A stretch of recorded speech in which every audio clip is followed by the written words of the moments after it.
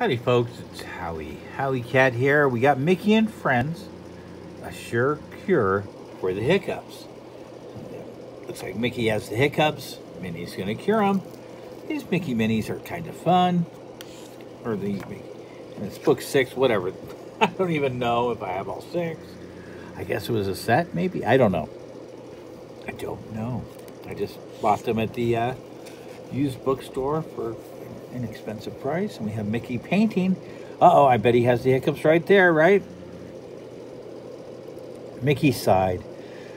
He had been hiccuping all morning, and it was very hard to paint shutters with the hiccups. Every time Mickey picked up his brush, ah! his body shook and paint flew everywhere. Minnie was passing by and noticed that Mickey looked upset. What's wrong? she asked. Oh, hiya, ah! Minnie, Mickey replied. It's nothing, and I just can't seem to get rid of these hiccups. Oh my, said Minnie. She thought and thought. Then she had an idea. Daisy and I were about to go for a walk, but maybe we can help you instead. Help with what? Daisy asked, walking up the garden path.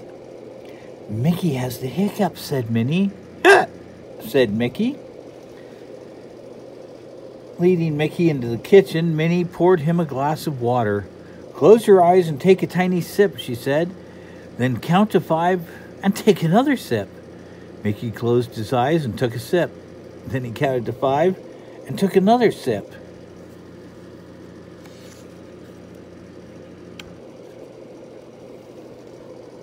There he is. He's drinking his water. And did it work? asked Daisy. I think it did, said Mickey. Thanks, Min. Uh oh. It didn't work.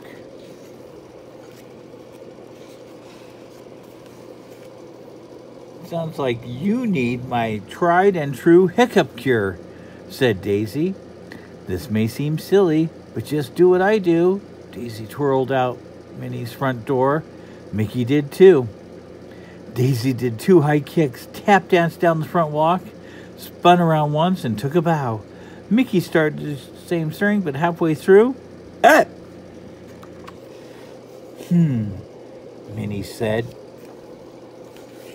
Again, maybe Donald has an idea.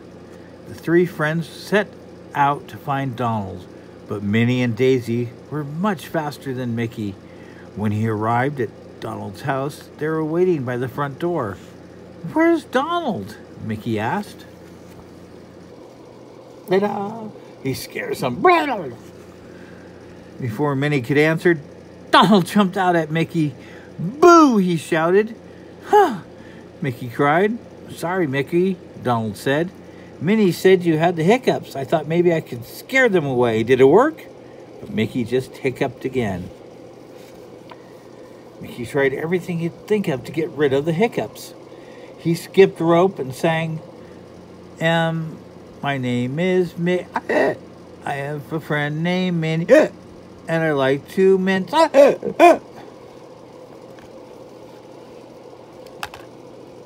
He stood on his head while saying the alphabet backward.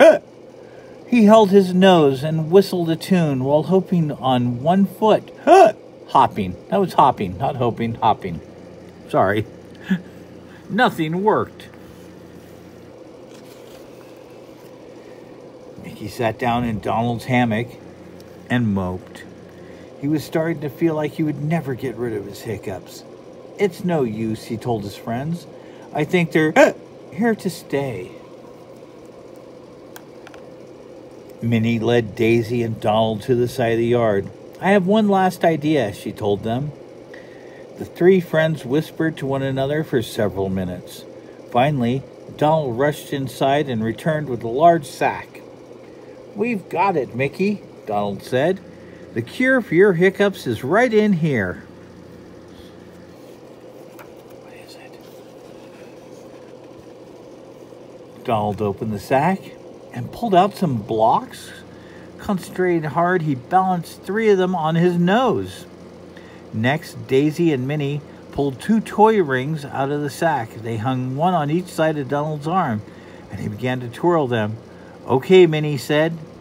It's your turn. Mickey wanted to try, but all he could do was laugh. I'm sorry, Donald. You just look so silly. When Mickey finally stopped laughing, he realized something. His hiccups were gone. His friends waited and waited, but not another hiccup came. I did it, shouted Donald. I cured Mickey. You sure did, Donald, said Mickey. I guess laughter really is the best medicine for hiccups. That's cute. Okay. Thanks a lot, folks.